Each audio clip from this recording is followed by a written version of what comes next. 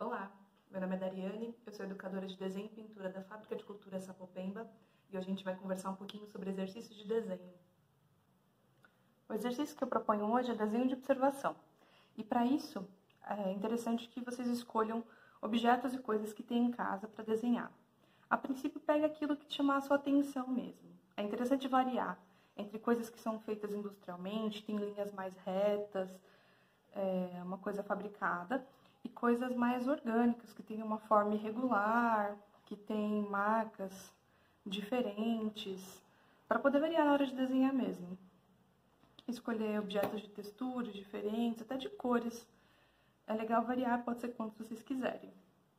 A segunda coisa que é interessante pensar na hora de desenhar também são nas ferramentas para o desenho, que podem ser qualquer coisa. Qualquer coisa que faça uma marca sobre o papel serve como ferramenta para desenhar. Aqui eu tenho alguns exemplos que eu vou mostrar hoje. Então, lápis, esse é um giz de cera com formato diferente, mas poderia ser o comum.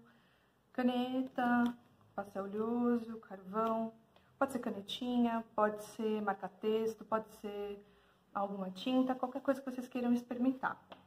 E para não começar direto com desenho e dar uma assustada, é legal a gente treinar um pouco marcas no papel. Isso ajuda a gente a saber quais são as possibilidades de cada ferramenta.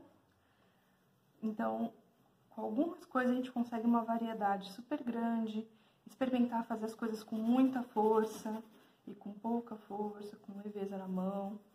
Não fazer nada muito pensado, rabiscar mesmo. Perceber que dependendo do material que a gente está usando, a textura vai ser mais mole, vai ser mais fácil fazer alguns formatos do que outros. Essa variação é interessante para quando a gente for experimentar fazer o desenho. Depois de soltar um pouco a mão e fazer uma experimentação, vamos para os desenhos em si.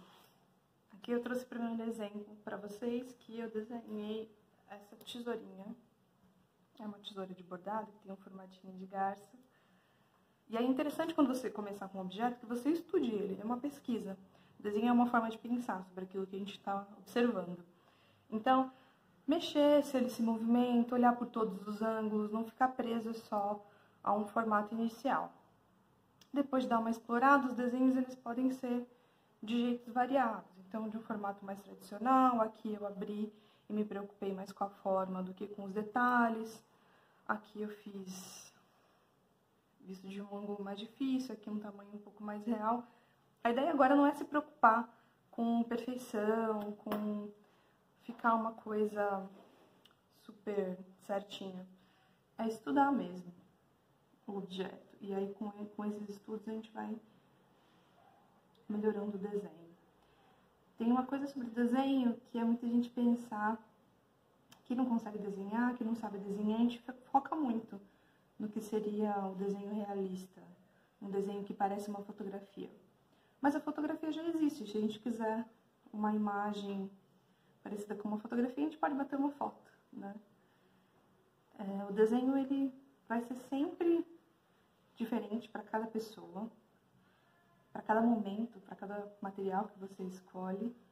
E também, ele é uma maneira de pensar, todo mundo desenha. O desenho está aí desde a época das cavernas, né? Ele é do ser humano. Quando a gente pensa no formato de um objeto, a gente já está desenhando, mesmo se a gente não colocar isso no papel.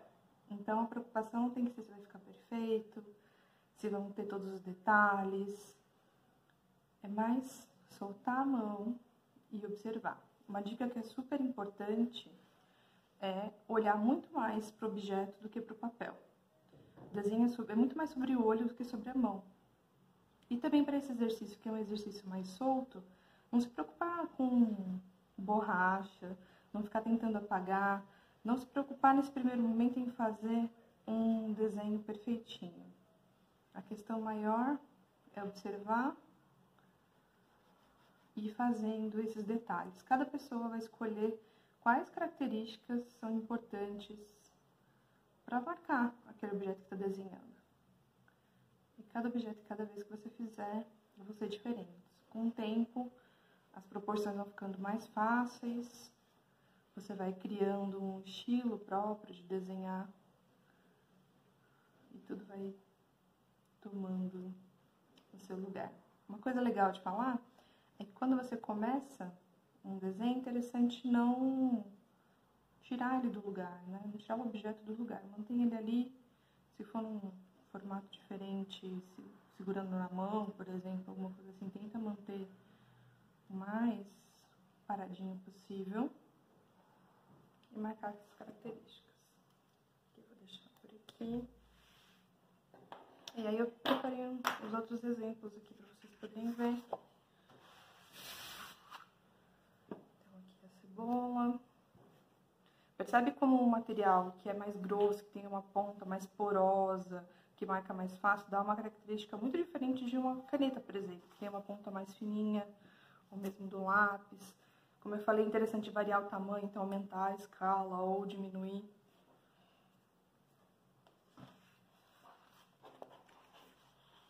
E como o desenho muda completamente quando a gente pega um objeto diferente, que é muito reto, que tem coisas muito contadinhas. E isso cada um vai escolher qual ângulo que está olhando, como fazer. Tem coisas que são automaticamente mais fáceis de ampliar o tamanho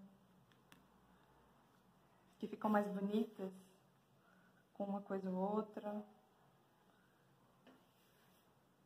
Experimentar. E é isso.